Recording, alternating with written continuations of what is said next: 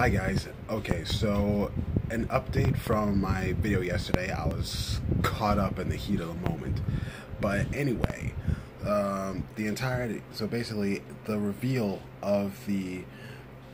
This is more like an announcement of the of the reveal.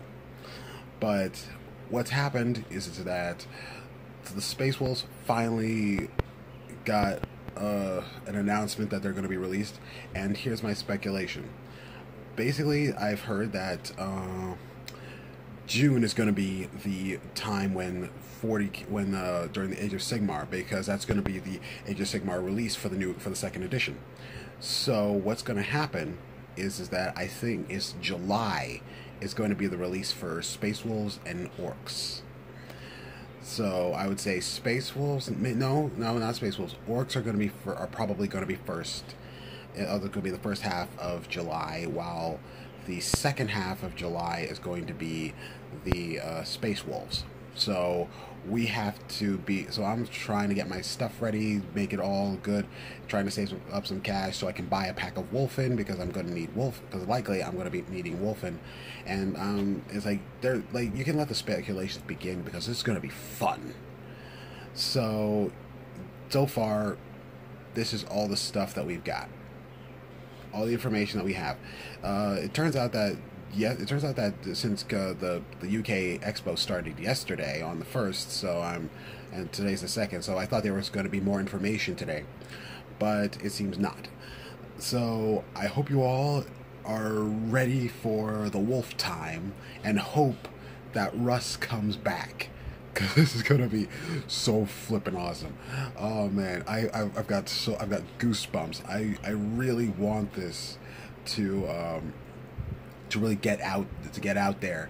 I really want the Space Wolves to like have Leman Russ. They say that this whole thing's packed with content, and I just want to. And I it's like it, like will we finally figure out what happened to the the Long Fangs on the and the Fenrisian Wolves on the GW website?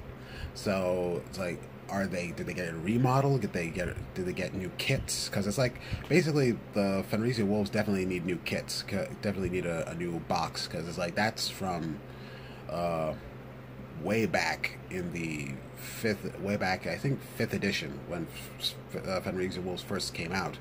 So we're likely going to get new box so likely they're going to be repackaged.